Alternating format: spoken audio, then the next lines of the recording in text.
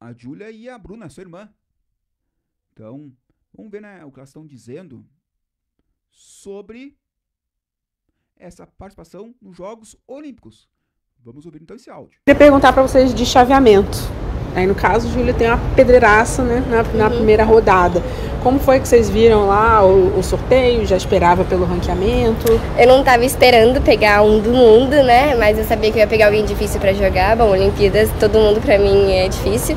A gente estava no ônibus e quando saiu o sorteio, a Bruna falou: Você vai jogar contra o primeiro do mundo. Aí eu falei: quê? Não vou não. Aí ela, vai sim, olha aqui. Eu fiquei, meu Deus. Só que eu, por um lado é bem bom, porque eu vou jogar zero pressão, eu sei que a pressão tá totalmente do lado dela.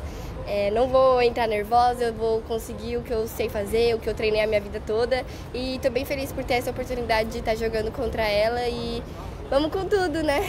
Não, maravilha. E como para você é essa sensação de você em Tóquio você foi reserva, né? E agora você está aqui como titular, é, é, tá na equipe no, novamente com a sua irmã. Foi uma cena que emocionou até muito no PAN, né? Vocês dois na zona mista ali.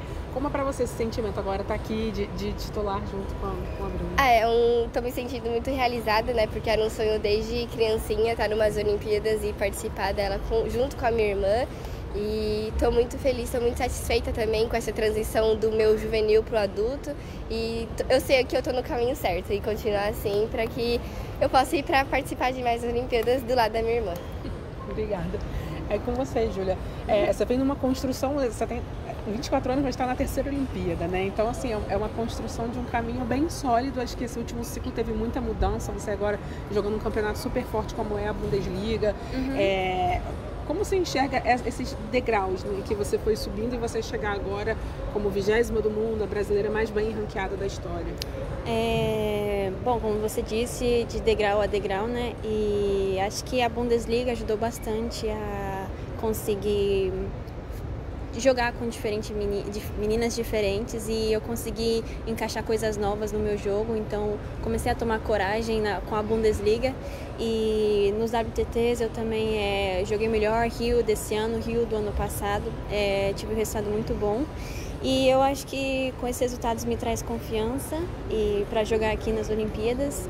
E eu vou jogar contra uma menina da Nigéria.